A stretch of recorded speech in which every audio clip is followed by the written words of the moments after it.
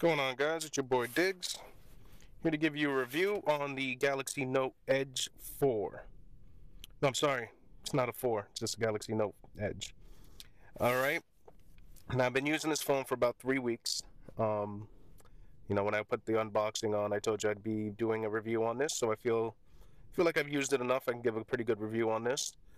Um, point of reference you know I did use the uh, Galaxy I'm sorry the um, LG G Flex for about a year before this one, obviously. So one year with the G Flex, and before that was the S3. So a lot of comparisons. I'll be doing it with the G Flex just to, you know, I upgraded to this one, so got to be able to compare it to something. So I'm going. I'm going to start off with what I don't like about the phone. All right. So number one thing I hate about this phone is the battery life. It is terrible. All right. Um, when I went looking for the phone online um, it showed a battery life of 32 or 33 hours, while my LG G Flex only showed 29 hours. My LG G Flex killed this thing in battery. I'm not sure if this is, um, you know, if this thing just uses too much energy. I mean, I just pulled this off the charge and it's already down to 94%. I mean, my LG G Flex wouldn't go down that quick. Um, this was the same issue I had with the S3, kind of reason I hated it. The battery life is terrible. The only thing that this thing has going for it with the battery is the fact that you can fully charge it in one hour. But that being said, the battery sucks. Don't let anybody fool you. Um, the, the Note 4, my buddy has it here that I work with, and he gets battery better battery life than this. But um, yeah, battery life is terrible. Just as bad as a, you know, I mean, it's probably got a, an hour more than an S3 or something. It's really bad. All right. Um, the only way that you're going to do that, and even when I have the power save mode on, not the ultra one that puts it black, black and white or anything, even when I have that one on, it's still pretty bad. Oh, whoops. Sorry. Turn the brightness down. Give me one sec. Got to turn it back up. But yeah, it, it's um, it's not acceptable.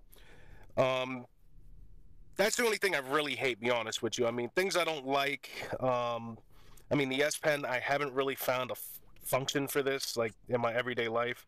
I'm a car salesman, hence why I'm in a brand new 15 uh, Pilot and on a lot of all these cars. But I haven't really found a function for this in my everyday life. Um, me being a salesman, I probably should, but I mean, nothing. I, there's really no point for this. Just a gimmick in my eyes. And um, another thing I don't like, uh, the Edge is good. Don't get me wrong. I like the features on here, but I'm not sure if it's just the app or what, but like the CNN app, oh my God, it never does anything. All it ever says is loading. Never does a thing. I'm gonna be deleting this app actually after I do this video, but I do like um like the few features on there, and I'll, I'll get into that. All right, so I mean, really not much to hate on it, but if you are somebody like me that loves your battery life, this is not the phone I get. I would say G Flex all day. Um, but you do also have the full crazy black and white power saving mode. I mean, in all reality, I'm never going to use a phone in black and white. Why the hell would I do that? I bought a smartphone for a freaking reason. But if you were stuck all day without a without a charger, you might be able to mimic the LG G Flex battery life by putting it in black and white. So you have that. All right, but what I do like about the phone, um, tons. The phone is great. Um, you know, real smooth, fluid. I haven't seen any real freezing issues or anything like that, and I have tons of apps open. So you see, when I have here, I have all these apps open. So I mean, it runs real smooth, even with all all that being open. Um, I had a couple questions. People are asking me if I had any connection issues, like with the um, Wi-Fi or my mobile data. No, I have not had any of those issues. It's been pretty good. Um, the only issues I've been having are with Sprint with the Wi-Fi calling. Um, sometimes it gets service, sometimes not. But in all reality, it might not even be Sprint. It might be the uh, the Wi-Fi I have here might not be that great because at home it works great. But that's about it on that. Um, cool features is the Edge. I mean, let's face it, man. This is this is great. Um, I know you can't really see it there, but if you look, I, I customized it myself. It says, uh, "How about them Cowboys?" right there. I know you probably can't see it, but you can fully customize it. Um, you know, like when I put my lock screen on, if you didn't know, I'm a Cowboys fan. But you see one of my lock screens on there. It's the uh, I have the Dallas Stadium there, AT&T Stadium. A couple cool things you can do. Um, another cool one is the fingerprint scanner to unlock the phone. I know people that have nosy girlfriends will hate this feature, but you'll love it. they won't be able to get in without your fingerprint, so make sure you watch your hand at night and they don't cut your finger off. So you got that going for it. Um, yeah, the edge is really cool though. So I mean, I saw that the um, LG has a phone that's coming out with an edge, but not just one, but with two edges. But um, I think that's good because basically it's going to open up developers to continue making apps for these edges. So that's good. I think we'll see an, influx on what kind of apps you can put here. I haven't messed with all of them yet, I will admit. Um, I work a lot, so I don't really get to play play too too much, but I do mess around. My favorite app on here is the S Health. You know, it keeps track of how much you're walking during the day. Even takes your um your blood, not your blood, your oxygen in your blood and your heart rate, all that good stuff. So it's good for that. How, do, how does it do that, you ask? It actually has a sensor here that reads your oxygen level, reads your heart rate, reads all that good stuff. So I don't know how it does it, but that's pretty cool. I'm not sure what the technology is called. And um, the other great feature, which my LG G Flex had, but it's here too, and I'm very happy that it's here because I was worried about losing it, is the remote control. It's a universal remote control. Um, you have the infrared right here at the top, and I love it. I mean, I, I, couldn't live without it with my G Flex. I love it on this one, so it's still good. This one's actually a little bit better with features because it connects to your local cable provider. So, like uh, when you open it up, um, let's see, connect. It should. I'm not sure if I have good service here.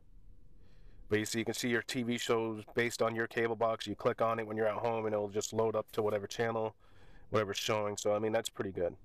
I do like that. All right. Um. Oh, I'm sorry. Another annoying feature is S Voice. So when you double click the home button, you get this stupid S Voice that comes up every now and again. It is more inconvenient than anything. Um, probably going to be shutting that one off. I am a fan of OK Google, um, and I have to turn that one back on. But you know, just talking to Google, I get everything I need. I don't need S Voice getting in the way. uh, camera is amazing. All right, this is probably the best camera I've ever had on a cell phone.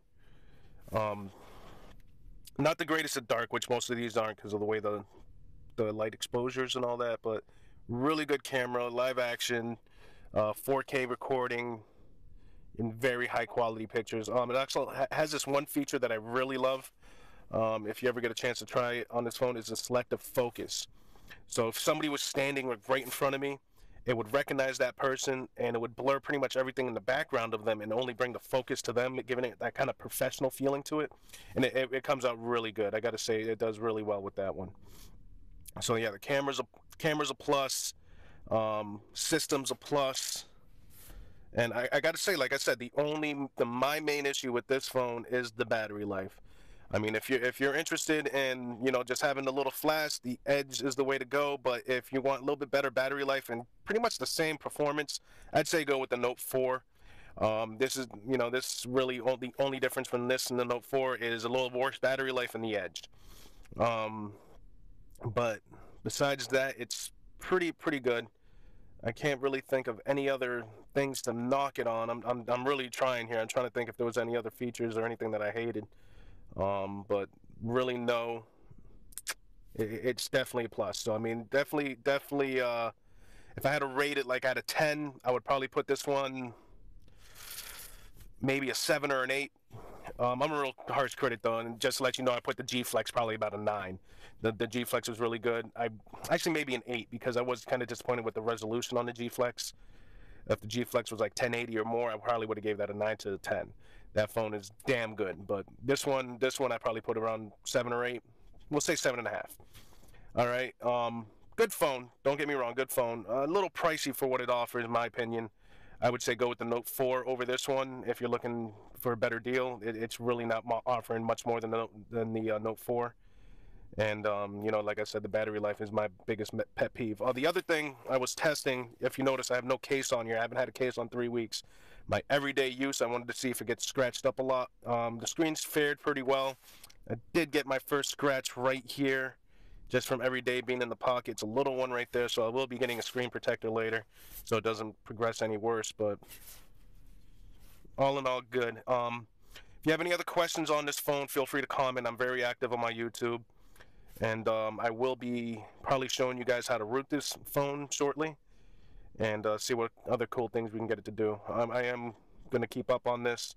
I'm stuck with it for a year, so you'll be hearing more about this phone. All right, guys. Thanks. Like, comment, subscribe, whatever you like to do. Hey, talk shit if you want to, if you don't like me, so I don't care. Whatever you want to do, guys. I'll talk to you later. Enjoy.